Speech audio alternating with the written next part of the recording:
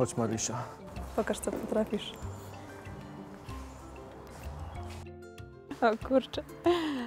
No, lubię, lubię, lubię go coraz bardziej. Lubisz się zamyślać? No. Czy nie? W tych spacerach pewnie. Pewnie. Chodzić i myśleć. Gdzie? Tu, tak. Miałeś mnie naprowadzać. cały czas jest świetny. Szymon jest cały czas świetny. Cały czas. Byłam w Gruzji i bardzo mi Aha. się tam te klimaty podobają. A ty właśnie masz taką, nie? Tą gruzińską może urodę? Tak, Nie wiem, może. Owszem, poświęcił więcej uwagi Uli, ale to nie musiało niczym świadczyć. Teraz dopiero zaczyna się problem, bo mi, bo mi ta kręgielnia w niczym nie pomogła tak naprawdę.